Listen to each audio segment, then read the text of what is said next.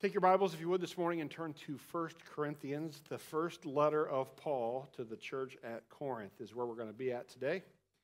And I am super excited about this uh, series that we're embarking on. Um, here's the feedback from the first, sermon, uh, from the first service. Uh, it was good. Uh, how long are we going to be in 1 Corinthians? I said, well, it's not Romans, okay? We're not going to be in there as long as Romans, but I would say uh, until next year for sure. So,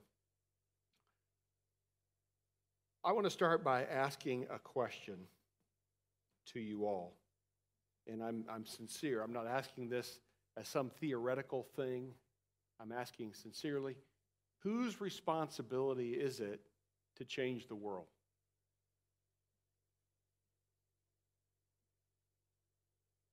As I woke up this morning, and I don't know how you live your life, but I live my life. I go to bed, before I go to bed, I make the coffee and set the timer. And my timer goes off at 4:45, so it's ready for me at 5 a.m. to drink the coffee because I want it fresh. And um, I get a cup of coffee, I stumble to the coffee pot, get a cup of coffee, and then uh, re- look at the news real quick. And um, we're apparently sending, the United States is sending 4,000 of our U.S. Marines and sailors to the Middle East something is brewing. And I've got a lot of questions about that because that is not a conflict that Congress has authorized. We haven't declared war on anybody. And last time I checked, the man in the Oval Office is cognitively impaired. And so I've got a lot of questions about who's doing what and pulling what strings. Um, I'm not a fool. I can see with my own eyes what's going on. But assuming the best and assuming that our motives are pure in the United States and we're sending those troops over there to, to keep peace or whatever, the U.S. military's job is very cut and dried. They kill people and break things for a living. And um, how many things are, how many people do we got to kill and how many things do we got to break to achieve peace in the Middle East? I don't know. But even if we kill enough people and break enough things to, to achieve some modicum of peace in the Middle East, is that going to change hearts and minds? I think the answer to that, we all know, is no. If anything, it's going to inflame hearts and minds for future conflict. Whose responsibility is it to change the world? Ultimately, God is in control, but God has placed here on the earth his people. And our mandate, our mission, if you will, is up here on the wall, and we talk about it all the time, is to love God, love others, and make disciples, make followers of Jesus Christ. We know, maybe the world doesn't know this, maybe we don't talk about this enough, but we know that the gospel of Jesus Christ is the message that can transform a heart in from being a heart filled with hate towards another people group for some reason, maybe some historic reason, to being a person with a heart filled with love and compassion and joy. And so I would argue with you this morning that a big part of making this world a better place is that mission belongs to the church of Jesus Christ. And it is accomplished through love. God has ordained governments to kill people and break things. He has given them the power of the sword. But He has given us something so much more powerful the good news of Jesus Christ. And so, if that's the case, I would then further argue that to the degree that the church is healthy and unified and thriving and strong knowledgeable of God's word, and also living it out, that we can make major, major strides to bring goodness and joy and peace with God and with our fellow man in this world. But when the church is broken, when there is disunity and disharmony, when there is sin that is unchecked, going on in the church, then it is not effective. In, in many circles, it becomes a byword. Oh, you believe in God? Well, look, look at the way you're living. In many ways, the, the first letter from Paul to the Corinthians that's recorded in Scripture is a letter to a church that is broken and in need of repair and building up. And the messages that are contained in Paul's letter are relevant to us today. And my whole effort today, my whole task before you, is to just introduce you to this letter. That's all I'm going to do today. Is I'm going to give you an introduction to 1 Corinthians and kind of a, an outline for 1 Corinthians that we're going to work through in the coming weeks and months. Let me tell you a little bit about this city. Corinth is a city that's located in the country of Greece on the isthmus of, isthmus of Corinth. Can't say that word. Because of its strategic location and also the fact that it has three harbors, which was a big deal for maritime travel and trade, it became a center for commerce and trade. It became a center for economic development. And it they accumulated wealth there. Many people from diverse backgrounds were attracted to the city of Corinth. I mean, you could, it makes sense, right? If, if things are booming in Corinth, if Corinth is really growing and there's a lot of economic prosperity and opportunity there, people are going to go there, much like people come to the United States all the time because what are they looking for? They're looking for a better life, economic prosperity and growth. But Corinth also made a name for herself for another reason not just a wealthy city of opportunity, but with that wealth, combined with the worship of the goddess Aphrodite that, that had as part of its worship rituals cult prostitution, Corinth earned a reputation of being a city where one goes to experience moral decay. Before there was ever a Las Vegas, Nevada, there was Corinth. And before Las Vegas was called Sin City, Corinth earned that moniker first. If a person had involved themselves in immorality to the point that they had reached a point where it was difficult, if not impossible, for them to turn back, in other words, they were living such a lascivious lifestyle that they were just pretty far gone, that person was said back in those days to be Corinthianized. And perhaps you've heard someone refer to someone else disparagingly as a Corinthian. With the arrival of the Apostle Paul, however, Corinth started to become a center not just for economics and prosperity and moral decay, but it became a center for Christianity. This seemed to be, if you read the book of Acts, Paul's way, his strategy was to go into the important cities and establishes, establish a group of believer, establish a church there. And that's what he did in Corinth. So let me give you a bit of a timeline. Paul arrives in Corinth around 50 AD and remains for 18 months. You can read about this in Acts chapter 18. He remains there for about a year and a half until about 52 AD. And you can tell, if you read Acts 18, that Paul's stay there was not was was starting to be effective. And let me just say this. Nobody, if, if, if you are a person who's very outspoken in your own mind, nobody bothers you, right? Let me say that again. If you're a person that's outspoken in your own mind, people leave you alone, right? But when you are outspoken publicly and you start to get a following and you start to get popular and you start to change the way people are behaving, maybe even making a dent in some of their economic, you know. For example, if the, uh, if the business at the local prostitution center goes down and people start losing money, eh, people get upset. In the case of the Jews, if the people stop going to synagogue and are starting to now worship in the local church, eh, people get upset. So you can tell that Paul was having some level of effectiveness because in 51 AD, Acts chapter 18 says, the Jews of the city went to Lucius Junius Gallio, who was the Roman proconsul, and tried to bring Paul up on charges. What were the charges?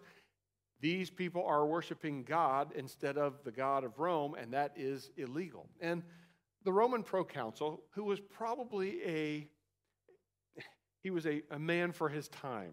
living in Corinth, probably fully imbibed into the culture. And he said, Listen, guys, they're not bothering anybody. Paul's not bugging anybody. This has to do with your matters of religion and whatever, and I don't want to get involved in any of this. And they even got so upset, the Jews got so upset about this that they drug a guy named uh, Stephanas out and uh, beat him up a little bit, and the proconsul did nothing about it, just looked on. So there was conflict in Corinth around Paul. About 52 AD, Paul leaves Corinth for Ephesus with Priscilla and Aquila in tow. And he sets up his ministry headquarters in Ephesus at that time, leaving behind a church, a, a, a group of believers at Corinth. And there they attempted to live for Jesus Christ. Things did not go well. From Ephesus, Paul writes a letter to the church at Corinth. This letter is re- referenced in the Bible, but we do not have it. It's not preserved in the Bible for us today. It's just referred to in the Bible. Paul later wrote another letter around 55 AD, and that is the letter that we are studying. That is the letter that is known as 1 Corinthians. Later, Paul circled back and went and visited the church at Corinth again and wrote them another letter. This is referenced in 2 Corinthians as the painful visit, and the letter is referred to as the tearful or severe letter. We don't have that letter either. And then a few months later, Paul wrote yet another letter, which we now know as Second Corinthians, and he wrote that in about 56 AD. So there's the timeline for you this was a church that was immature. It was growing, but immature, and they had problems. They weren't dealing with these problems biblically, and so Paul was interacting with them. Now, let's talk about the structure of this letter for a little bit. The structure of this letter, if anybody's ever gone on a website and you've, you've went to the frequently asked questions section of the website, I do that a lot. I don't know if you guys do. But um, if I have questions for somebody or something, I typically go to their website, go to the FAQ, and I get my questions answered because it's a frequently asked question. And, and so this letter can feel like an FAQ, with the exception of the introduction, right, where Paul greets them and all this kind of stuff, and, and the salutation at the end. There's a lot of things that are in this letter that it's obvious that the Corinthians have written Paul or he's heard things about the church at Corinth and he's addressing them one by one, and they are set off by the phrase, now concerning, in your English Bible. Now, concerning this, let me tell you what I think. Now, concerning that, let me tell you what the Lord says. Now, concerning, now, concerning, now, concerning. And you'll see that phrase often as we work our way through the book. The topics are wide ranging, but they all have one thing in common. They have to do with practical Christian living, especially within the church. A lot of 1 Corinthians, almost all of it, is regarding the church. Now, let's talk about some of the features in 1 Corinthians. Uh, after you get through the greeting and the salutation and the initial stuff, in chapter 5, we read about a church discipline case that Paul is talking about. Um, it's a pretty, there's some pretty egregious sin going on, and Paul instructs the church what to do about it. In chapter 7, uh, this is a, a, passage of scripture that's referred to often in, in terms of marriage. There's instructions here for married people and unmarried people in in chapter 7. Some teaching had come into the church that was false, and Paul deals with it, right? In chapter 8, uh, Paul talks about food offered to idols, and he instructs the church on what to do with this meat that's been uh, involved in the temple system of the false gods. What are they, how are they to think about that? How are they to live uh, in regard to eating or not eating that meat? In chapter 10, verse 13, we get this famous verse that many of us have memorized No temptation has overtaken you that is not common to man. God is faithful. He will not let you be tempted beyond your ability, but with the temptation, he will also provide the way of escape that you may be able to endure it. This is a very hope filled passage of Scripture that many depend on to get through the day.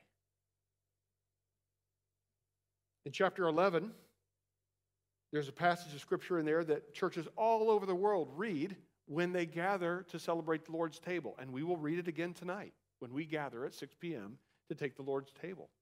It's part of a wider context where Paul is talking to the church about their, their practice of the Lord's table. Uh, but we will read that passage again tonight. Chapter 12, Paul uses the analogy of the fact that there's one body, the body of Christ, but many members. And he uses the analogy of the, of the human body. The human body has ears, and they don't do the same things as the eyes, but it's all one body. And, and he makes reference to that in saying that in this church, we're all different.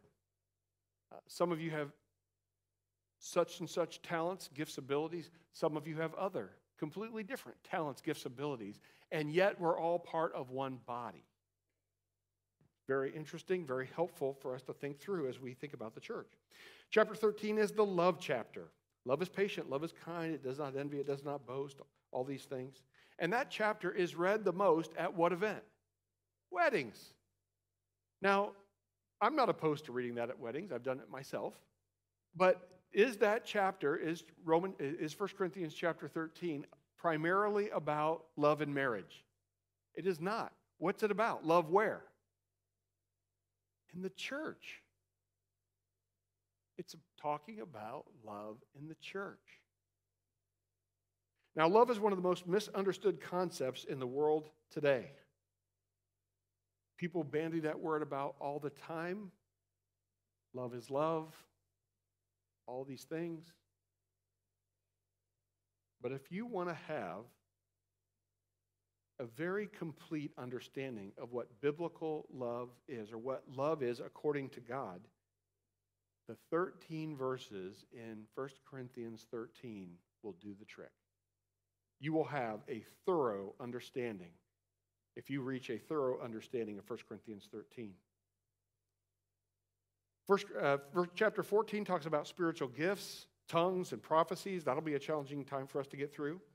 Chapter 15 talks about the resurrection of the dead. Um, read at gravesides. Almost every graveside service I've ever done, I've read a little bit of 1 Corinthians chapter 15. It's an interesting book. It starts, right? It starts with Paul telling us who we are. We'll get into that in a minute. Who we are. And then it talks about a whole bunch of practical stuff about Christian living. And then towards the end, chapter 15, it talks about where you're going. Right? You're going to die, and then you're going to experience the resurrection of the dead as Christ did.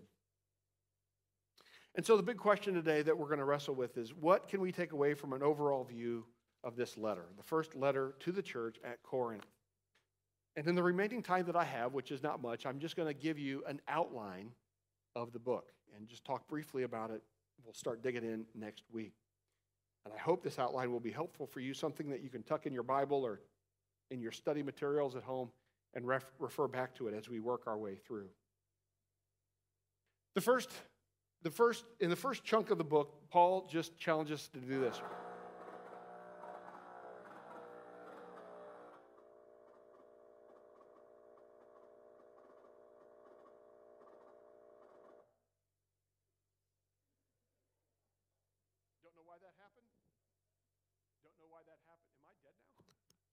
No, I'm back alive. Okay.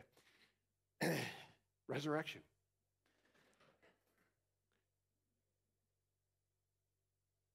The first thing that Paul challenges us to do in the book, in the first nine verses of the book, it's a very condensed but very meaningful section of the book, is to remember who you are in Christ. One of the greatest challenges that we face as Christians is living in this world where the world is constantly challenging us on who we are. It's constantly telling us that we're somebody other than who God says we are. You're not a creation of God, unique and purposeful. You are a random chance that happened through macroevolution, and, and there's no real meaning to your life. You're just going to kind of be born and die. That's what the world is telling us. The world is telling us to, uh, to buy into an identity based on something other than God a hobby, a profession, a sexual orientation, whatever. The world is constantly challenging us, our young people, whatever, to buy into an alternate reality of who we are. And Paul starts off his letter by saying, Let me remind you who you are. Let me just read to you the first few verses. Paul, called by the will of God to be an apostle of Christ Jesus, and our brother Sosthenes, to the church of God that is in Corinth. Now, I just want to stop right there and say, and we'll talk about this next week, to the church of God. Let me put that in as plain as farm boy English as I possibly can. To the gathering of people who are God's, who belong to God. Not, you're not God's, but you belong to God. God's apostrophe as possessive. You belong to God. You are God's people. Never let anybody make you forget that. You are God's people. You are the gathering of people who belong to Him. That, in and of itself, is an amazing statement. To the church of God that is in Corinth, to those who are sanctified, set apart, you've been set apart for a specific purpose in Christ Jesus, called to be saints. You've been called together with all those who in every place call upon the name of our Lord Jesus Christ. You're not just one single group of people, you are a multitude of groups of people that are united in this common faith in Jesus Christ, both their Lord and ours. Grace to you and peace from God our Father and the Lord Jesus Christ. And he's going to go on in a very condensed way, a very, very few verses. He's going to remind the people of Corinth who they are. We must not forget something that we constantly have to remind ourselves. The world is going to try to identify us by our political persuasion, by our skin color, by all these different ways. None of that is who you are. You are a saint. You are a person of God in Christ.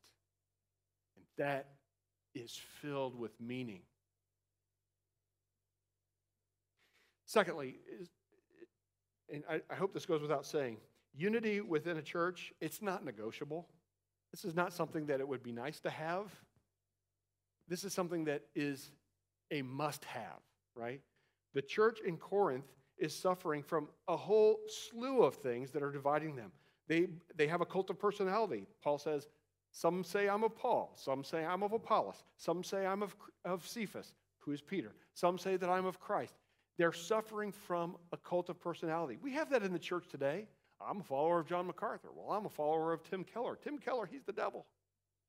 I'm a follower of Joel Osteen. No, the name that shall never be mentioned. Joel, Joel Osteen. You get the idea. They're divided. They're divided. They're, they're, there's another faction in the church that's disputing over whether we should do things God's way or the world's way. And Paul says, no, we've got to do God's business God's way. There's a faction in the church that's impressed by lofty speech. Oh, we must, brothers and sisters, bask in the infralapsarian reality of our sanctified positionality in the whole. No, he says, stop that. It's not about that. It's about learning doctrine so that we can roll up our sleeves and do the nitty gritty work of loving and building up one another and being clear with one another. We find our unity when we unite our lives in the work of doing God's will. When we choose not, when we have a brother or sister in Christ that we're in conflict with, and choosing not to go behind their back to another group of believers and disparage their name, but instead go to that person and, to the best of our ability, try to work the conflict out. Unity within the church is not negotiable. I am going to stomp on toes during this section of our time together, and I apologize in advance. But these are things that we must, these are skills that we must master. Three, do not be a Christian in name only. There were apparently a group of people teaching in the church who were, who were big on talk but small on action. They had what, what some refer to, Randy Patten specifically refers to as they were wet watermelon seed Christians. You know, it's summertime, you're probably eating some watermelon. We have seedless watermelon today, so we're blessed. But for those of you that prefer the seeded variety, you know what I'm talking about. You, you spit out the wet watermelon seed on the table or on your plate, and you put your thumb on it, and what happens? You put a little bit of pressure, where's it go? shoots away, right? That's what a lot of Christians are like. They, they talk a big talk, but they get a little bit of pressure. Maybe it's a trial, maybe it's a little bit of conflict. They get a little bit of pressure in their life, and they're gone.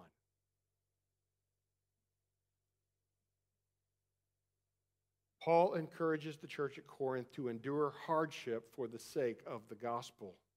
Verse chapter 4, verse 20, 1 Corinthians 4:20 says, For the kingdom of God does not exist in talk, but in power. It exists not in talk, but in power. Power is the word dunamis. It's where we get the word dynamite. It means the ability to be effective, to get things done. This is not, the kingdom of God is not about empty talk. So don't be a Christian in name only. Fourth, deal with sin in the church as God directs. You can imagine that if there's open, unrepented of sin going on in any church, and everybody knows it, right? There's somebody on this side of the room that has offended somebody on this side of the room, and they're not talking. And in fact, they're not just not talking, they're gossiping about each other. It's getting ugly. Everybody in the church can see it. It's corrosive to the body of Christ. Paul simply says to them, deal with this sin as God directs. In the church of Corinth, there was sexual immorality going on, and people were uh, taking each other to court, and it was not good. It was open.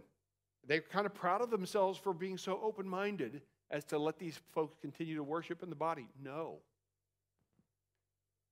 This will be a difficult section to work through for us as a church because in the church today, we've, we've grown this really weird tendency for when there's conflict between two parties or, or there's sin, there's been sin committed between from one person to another that we that for some reason some churches have adopted this mentality that if you say I'm sorry, if you mouth the words I'm sorry or you mouth the words please forgive me, that's that, that's it and the relationship should return back to the time before the sin ever happened. But that's not reality, brothers and sisters.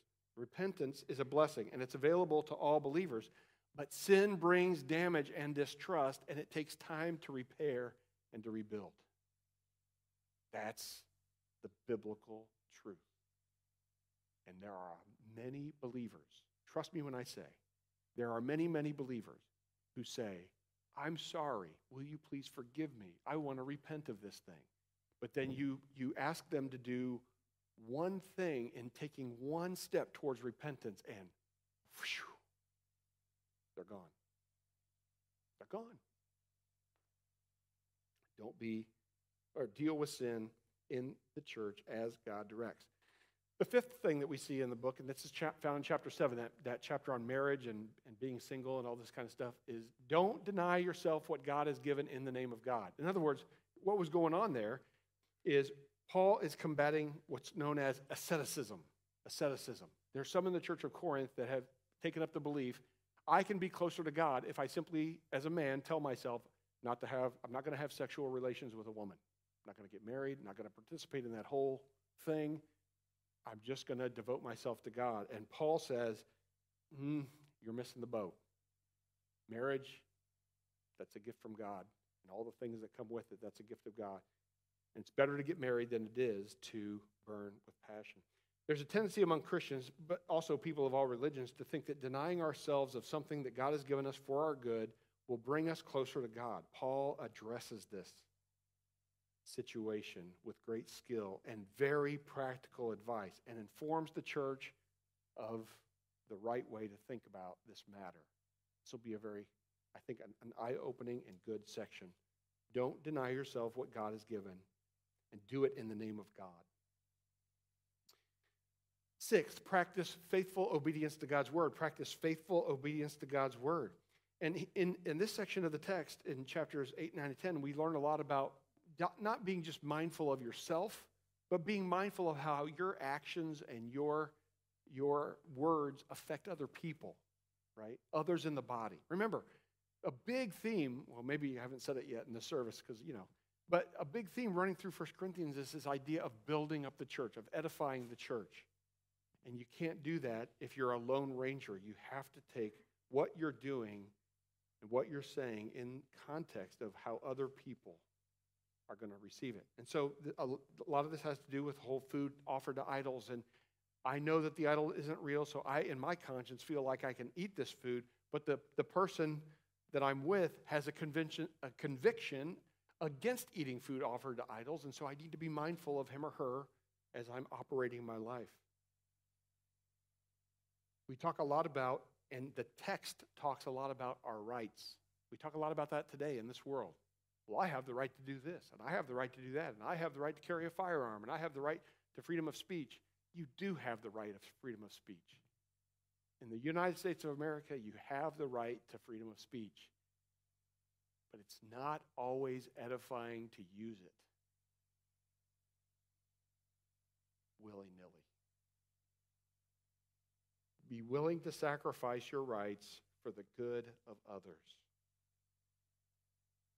Seventh, uh, learn to avoid legalism. And here I, I find that there's much confusion on this topic of legalism. Some people ascribe something as being legalistic that's not really legalistic. You know, like for example, uh, uh, people will will say that um, Delaware Christian School is legal, legalistic because it has a, a dress code. That's not legalism.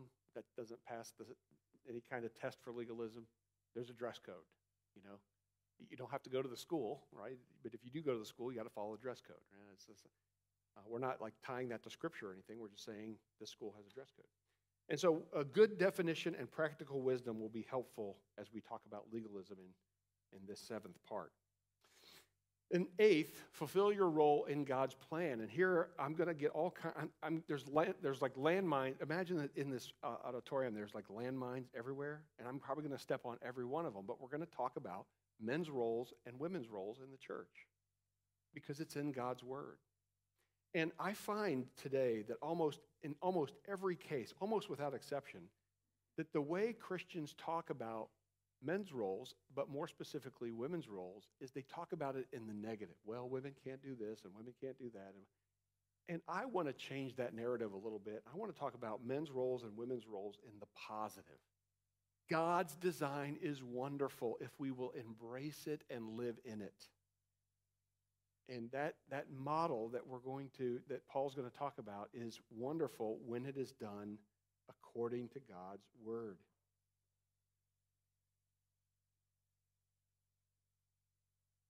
Ninth, think of we more than me. Think of we more than me. And here in chapter 11, Paul addresses the Lord's table. Apparently, what was going on in the church in Corinth was there were some richer, more well to do people, and they were coming to the Lord's table. Maybe they were supplying the money to buy the food for the Lord's table, gathering at the church, and they put on this big meal and everything like this. And the rich people were showing up and getting first in line, and they were taking all the food leaving nothing for the less well to do people at the end of the line. Paul castigates them for that, for that way of living and thinking, and, and, and encourages them to consider one another in, in everything, but specifically in the Lord's table, to wait on one another and to make sure everyone is taken care of in that celebration. Oh, what would the world be like if the church adopted a mentality of we? I want to edify the body. It's not about me. I want to, I want to do what's right according to God's word to build up the body. It would be a different world. A few more things. Tenth, practice being a builder of the body of Christ. Now, my appetite is whet for this section. Three chapters. I'm doing this when I think about chapter 12, 13, 14. Can't wait to get to chapter 12, 13, 14. And as you read through 1 Corinthians, and I pray that you will, look for the language. It's not just in these three chapters, by the way, it's, it's, it's many places in 1 Corinthians. You'll, you'll, you'll read language about building up the body of Christ, edification of the body of Christ, encouraging the body of Christ. That's a big part of what 1 Corinthians is all about. And so you must practice being a builder of the body of Christ. I don't know why in the timeline of my life this happened, but yesterday, just yesterday, I finished a year long process of refinish, or, uh, re, uh, remodeling our bathroom, master bathroom, and master bedroom. Uh, it took me a year, and I had to. I even had to call help. I had to call a guy to help me with the project and all this kind of stuff. And it you know, I'm not all that good at, you know, I'm really good at tearing things down. I'm not all that good at like finished carpentry and making the joints line up and all this kind of stuff. And I learned that um, that caulk covers a multitude of sins. I, I, learned that lesson big time, and I learned how to do a better job at uh, doing that. But it's a step by step process. First, you you rip off the bad stuff and then you patch up the holes, and then you lay down the new flooring, and you paint the wall, and you put up the wainscoting, and you install the toilet and the shower and the sink and all this. It's a step by step process. And I want you to start thinking about this church, Delaware Bible Church, as a construction project.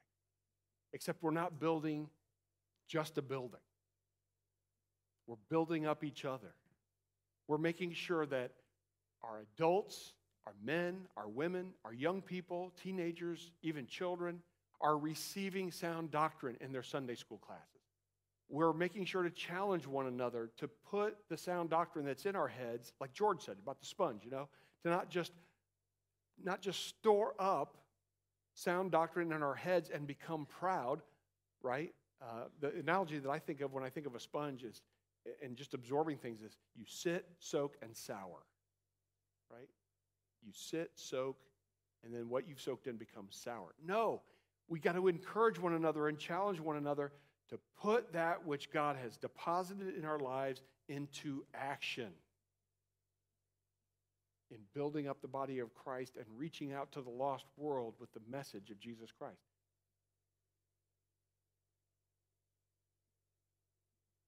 There is much evangelistic work to be done in Delaware County. Who in here, and I'm ashamed, I'm not going to raise my hand. I don't think probably anybody will raise their hand. Who in here has begun to study the culture that's moving in on the south edge of our county and moving up, the, all the Indian folks that are moving in, who has begun to research and to think about how are we going to reach this population with the good news of Jesus Christ? We've got work to do. And my argument this morning is that in order for us to do that work effectively, we must be strong and growing. And in order for us to be strong and growing, each one of us has to be strong and growing as individual believers and followers of Jesus Christ. That's what it's going to take. We must become builders. In this section, he'll talk about spiritual gifts of tongues and prophecies and all that kind of stuff.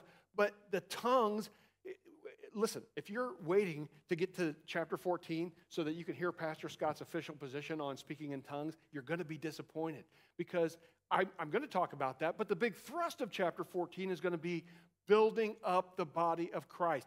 Everything has to be done for building up, for edification, for encouragement, for consolation. Everything has to be done. And that's the context in which Paul talks about speaking in tongues and prophecy.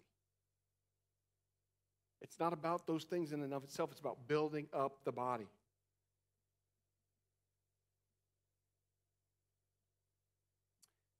Two more things. Death to self is the only way to truly live. And here, he's, this is chapter 15, and he's talking about the resurrection of Jesus Christ from the dead and how that applies to how what's going to happen to us and how we ought to live our lives in light of that. And again, I just want to call your attention to the fact that at the beginning of the book, Paul says, Here's who you are. You are saints. You are called. You are set apart. You are the people of God. You're the congregation, the church of God. He tells us where we are. Then he spends the whole book talks about how we ought to live. And at the end of the book, here in chapter 15, because there's only 16 chapters, he says where you're going when it's all over. And it's good. You're going to go be with the Lord. And he concludes that section with a challenge. Uh, chapter 15, verse 58. Therefore, my beloved brothers, be steadfast, immovable always abounding in the work of the Lord, knowing that in the Lord your labor is not in vain. Is that you? Could you say, if the Lord called you up on your cell phone and said, Hey, have you been steadfast, immovable, and always abounding in the work of the Lord? Could you say yes to that question? It's time to make some changes, brothers and sisters. It's time for us to, to get going here. And then finally, chapter 12 it, just the very beginning part, stretch to make what you build here a blessing to other local bodies. And here Paul instructs the church at Corinth hey, uh, take a little bit every week and set it aside. And then when, when I come and take up a collection for the saints in other places, you know, other churches that are struggling, then you'll have something to give and we won't have to take up a collection. And I'm going to probably apply that pretty broadly to say, listen, to the extent that we can grow and, and become strong and effective as a church then we will become a center that can then help other churches and equip other churches to do the same, right? We could invite them in. Probably they'll be knocking on our door wanting to come in and say, How are you being so effective? We want to learn and grow, and we want to do that as well. In order for us to become strong, because, that we all have to agree that we're going to work on our spiritual life and on our ministry in the church and beyond. Stretch to make what you built here a blessing to other local bodies. Again, the overall theme of building, Uh, building up the body of Christ that's found in 1 Corinthians is what struck me as I've read through it at this particular time. And so I just want to I just want to finish by reading a, a brief portion of Scripture, making a point, and then I'll I'll finish up. Chapter 3, verse 10 and following says, According to the grace of God given to me, and just listen to this. You don't have to turn there, just listen. Chapter 3, verse 10 According to the grace of God given to me, he's talking, this is Paul, like a skilled master builder, I laid a foundation. He's talking about the church in Corinth. I laid a foundation, and someone else is building on it. Let each one take care how he builds upon it. You know, before I read more, Carl Witt and those that have come before us, they've laid the foundation for who we are today. They've laid the foundation of Delaware Bible Church. And now we're all builders. And we're building on the work that they laid down. So think about yourself as I read this. Let each one take care how he builds upon it. For no one can lay a foundation other than that which has been laid, which is Jesus Christ. Now, if anyone builds on the foundation with gold, silver, precious stones, wood, hay, straw, each one's work will become manifest, for the day will disclose it, because it will be revealed by fire. And the fire will test what sort of work each one has done. And by fire here, I believe he's talking about trials, hardship, difficulty. If the work that anyone has built on the foundation survives, he will receive a reward. If anyone's work is burned up, he will suffer loss, though he himself will be saved, but only as through fire. Do you not know that you are God's temple and that God's Spirit dwells in you? If anyone destroys God's temple, God will destroy him, for God's temple is holy. And you are that temple. As I, as I wrap up, let me, just, let me just make one last point, and that is this. At the beginning of the book, at several point, at the beginning of this letter, at several points throughout the letter, and towards the end of the letter, Paul basically, I'm paraphrasing heavily, but basically says this God has said, You are this. You are a part of the people of God. You are sanctified. You are holy. You are set apart. You are called to this work. But, church in Corinth, you're living like this. You're down here in the muck of the mire of what the rest of the world is doing sexual immorality, taking each other to court, all this kind of nonsense and disunity. You're living like the rest of the world. What I'm asking you to do, church in Corinth, is to live as if you are truly the, per, the people that live out what God called you to be. I'm asking you to live out what God has told you that you are. Live it out. Work and strive to become who God says you are. And don't settle for down here. And that's what I want us to take away from this as well. The answer to the big question what can we take away from this? The first letter of the church at Corinth provides practical instructions for life as a church. But the overall message seems to be that everything should be done to build up the church so that it can accomplish the mission of making followers of Jesus Christ. We have a mission love God, love others, make disciples.